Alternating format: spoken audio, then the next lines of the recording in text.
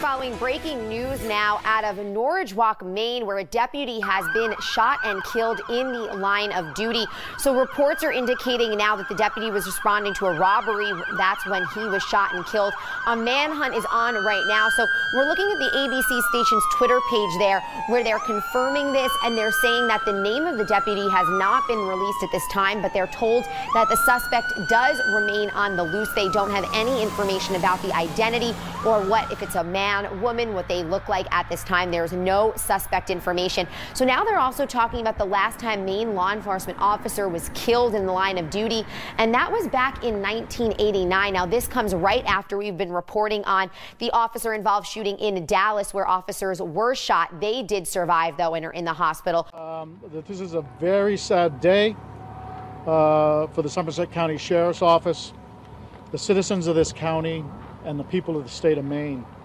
We have lost an outstanding deputy today uh, who has served with great distinction uh, for the last uh, 13 years. So, a few facts. Uh, this morning, uh, between uh, April 25th, between 1 and 2 this morning, Corporal Eugene Cole was shot and killed in the town of Norridgewock. What we know right now is that the suspect involved in the shooting stole Corporal Cole's uh, fully marked cruiser, drove to the Cumberland County, uh, Cumberland Farms in Norridgewock, and committed a theft.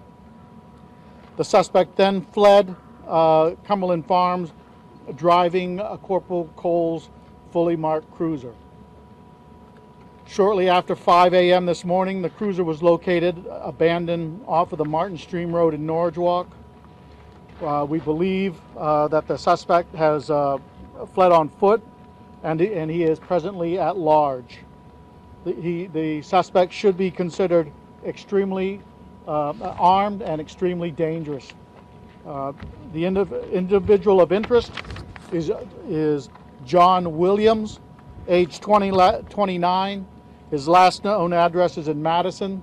Uh, he is described as 5'6", 120 pounds, brown hair with, with sides uh, that are shaved with a ponytail on top.